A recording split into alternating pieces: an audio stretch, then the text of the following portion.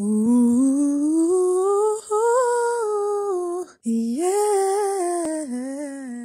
Merry Christmas, everybody, and a Happy New Year coming soon. Um, yeah, this is my family around Christmas, and um, even though it's a very downgraded Christmas, I'll show you some of our traditions. We have um, these round um, tree like thingies they are called um, Adventskranz in Germany. And um, yeah, you light a candle every Sunday before um, before Christmas Eve. That would be um, you start four Sundays ahead. Um, yeah, this one is at my mom's house and my sister's. One of my favorite things to do during Christmas time is baking cookies.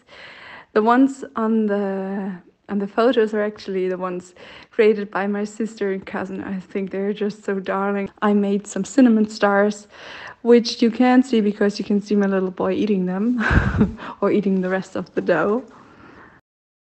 That is actually some beautiful decoration a friend of mine put up in her house with a little mushroom and the tiny tree and the candle put into um, just which is just a coffee mug, but it looks so cute with a with a wooden star, and yeah, I love it. And then you have um, like a snowman that um, was actually seen in Berlin this year, and further down you see some more um, beautiful, yeah, lightning, lighting, which is uh, in the streets of Heidelberg all the Christmas trees you see are actually sent to me by friends um, who yeah send around um, good Christmas wishes at um, the 24th of December. That's yeah that's actually the day we celebrate Christmas the most.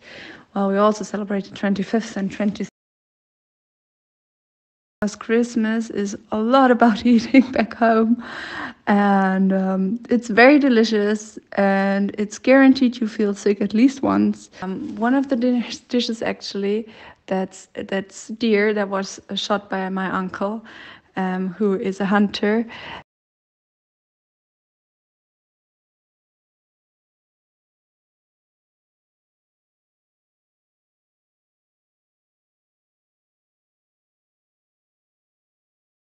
Thank